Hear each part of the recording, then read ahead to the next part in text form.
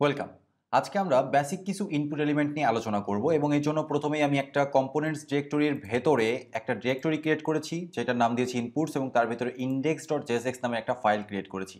খুবই basic set একটা component just set করেছি এবং যেই সেট আপনি অলরেডি জানেন এবং তারপরে সেটাকে অ্যাপজেস থেকে কম্পোজিট করেছি, অর্থাৎ রেন্ডার করেছি।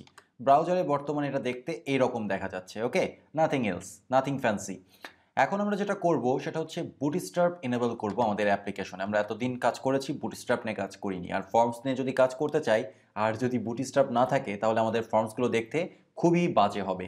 তো এই জন্য আমরা প্রথমে আমাদের টার্মিনালে যাব। যাওয়ার পরে টার্মিনালটাকে ক্লোজ করব। ক্লোজ করার পরে এখানে আমরা লিখব yarn add bootstrap yarn add bootstrap কমান্ডটা দিলে পারেই আমার বুটস্ট্র্যাপ ইনস্টল হয়ে যাবে। আপনি এনপিএম অ্যাড বুটস্ট্র্যাপও দিতে পারেন যদি আপনার ইয়ার্ন ইনস্টল করা না থাকে। ওকে? সো আমার বুটস্ট্র্যাপ ইনস্টল করা কমপ্লিট। এইবার আমি আবার আমাদের সার্ভারটাকে স্টার্ট করে দিব। এবং আমি চলে যাব আমাদের কোডে। কোডে যাওয়ার পরে আমি ইন্ডেক্স ডট জেএস ফাইলটাতে যাব অ্যাকচুয়ালি ইন্ডেক্স ডট জেএস ফাইলটাতে যাওয়ার পরে এখানে আমি একটা ইম্পোর্ট স্টেটমেন্ট লিখব।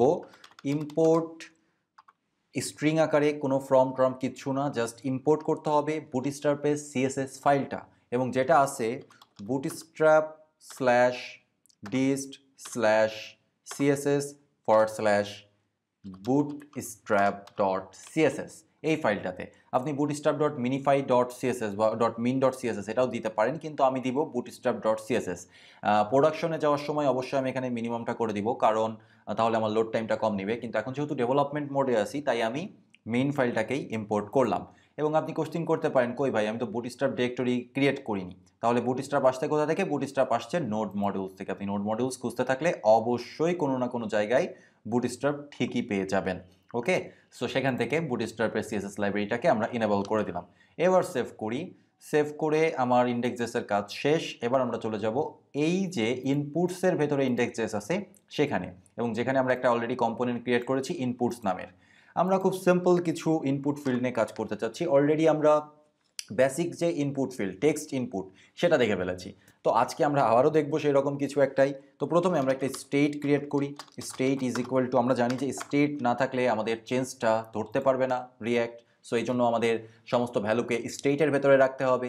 এবং এখানে আমাদের প্রথম যে প্রপার্টিটা থাকবে, সেটা হচ্ছে নেম বেসিকভাবে বা ইনিশিয়াল স্টেজে সেটা থাকবে এমটি স্ট্রিং তারপরে আমি একটা চাচ্ছি যে কান্ট্রি সিলেক্ট করতে এবং এটা একটা সিলেক্ট এলিমেন্ট হবে। চার পাঁচটা কান্ট্রি থাকবে, তার ভেতর থেকে আমরা আমাদের নিজেদের কান্ট্রিটাকে সিলেক্ট করতে পারব।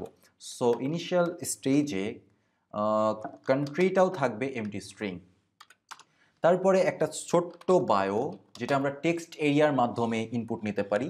আমি এমন একটা স্টেট নিতে চাচ্ছি যার মাধ্যমে মোটামুটি বেসিক যেই বিষয়বস্তুগুলো আছে বেসিক যেই ইনপুট এলিমেন্টসগুলো আছে, সেগুলো সবই যেন আমরা কভার করতে পারি। অ্যান্ড ফাইনালি আমি আর একটা বিষয় নিব, সেটা হচ্ছে বার্থ ডে ওকে বার্থডে আপাতত এটা এমটি স্ট্রিং তাহলে চার রকমের ডেটা নিয়ে আমরা এখানে কাজ করব ওকে সো এখানে যে ইনপুটসটা লেগেছে এটা আমাদের রাখার কোনো দরকার নেই এবং এখানে আমরা সিম্পলি কিছু ইনপুট এলিমেন্ট নিয়ে কাজ করব। প্রথমত ইনপুট এটা টাইপ হচ্ছে টেক্সট এবং এখানে আমরা কিছু নেম প্রপার্টি ব্যবহার করব। নেম ইজ ইকুয়াল টু এটার নেমের নেম হচ্ছে নেম ওকে এখানে আপনি একটা ইচ্ছা করলে প্লেস হোল্ডারও দিয়ে রাখতে পারেন, যেটা আমরা এর আগেও দেখেছি। Placeholder for example H M nine okay so এটা একটা basic setup basic input element for name এরপরে আমরা যেটা চাচ্ছি সেটা হচ্ছে কান্ট্রি কান্ট্রি হবে সিলেক্ট এলিমেন্ট সো আমাদের এটা দিয়ে কাজ হবে না, আমাদেরকে সিলেক্ট এলিমেন্টটা নিতে হবে। সিলেক্ট এবং এই সিলেক্টের ভেতরে আমরা কি করব?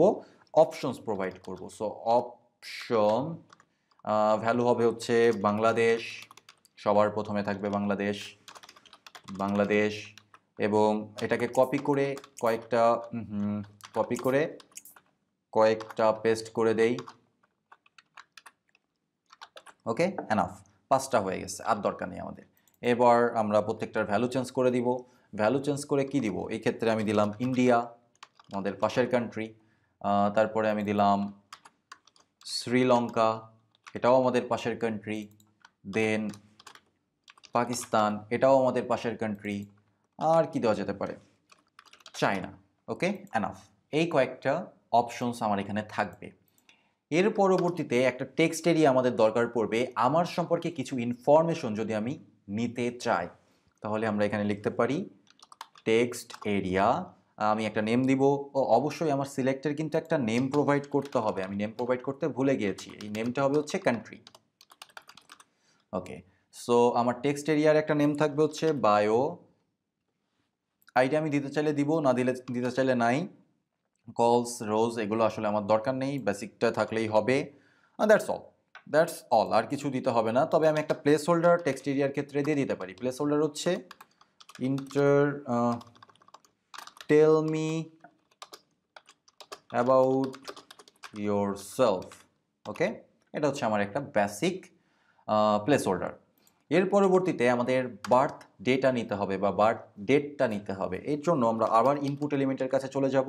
এই ক্ষেত্রে টাইপটা টেক্সট হবে না, কারণ আমরা জানি ডেট নিতে চাইলে আমাদের টাইপটা হবে ডেট আর এখানে একটা নেম প্রোভাইড করতে হবে এবং এই নেমটা আমি দিতে পারি। আমার স্টেটে যে নামটা দিয়েছিলাম, সেই সেম নেমটা বার্থ ডে এবং প্লেস হোল্ডার আমাদের দেওয়ার কোনো দরকার নেই। তো সিম্পলি এতটুকুই থাক।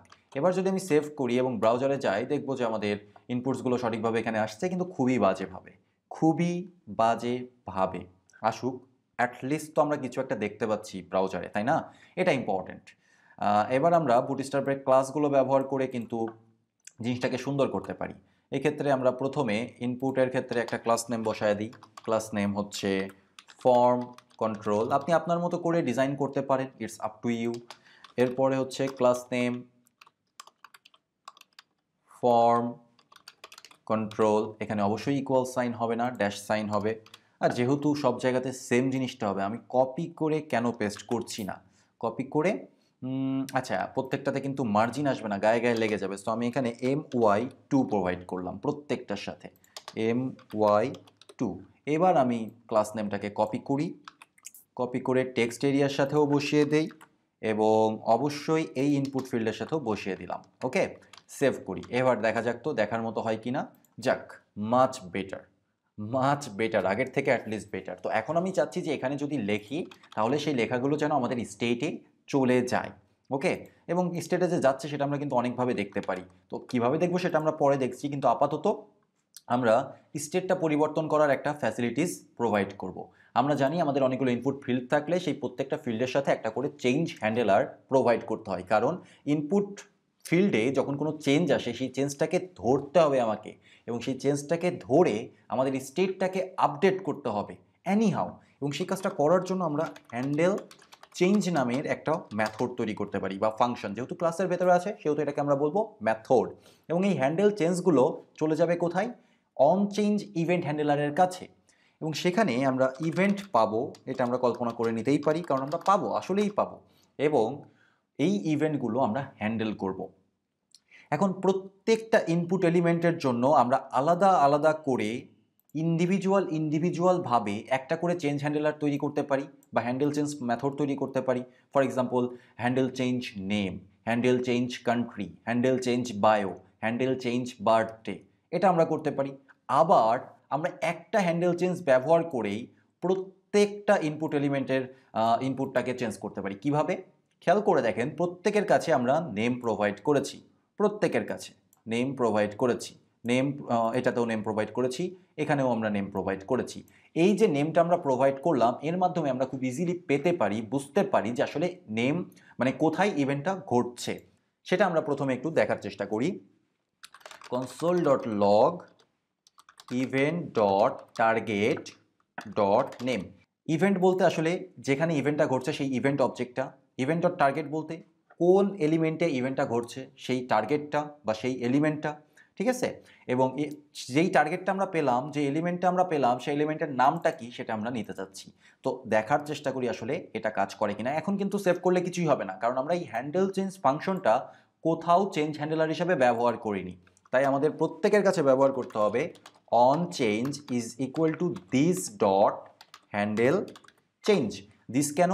কারণ ক্লাসের ভেতরে আছে। আর ক্লাসের ভেতরে যে কোনো মেথড বা যে কোনো প্রপার্টিকে রেফার করতে চাইলে আমাদেরকে দিস ব্যবহার করতে হবে।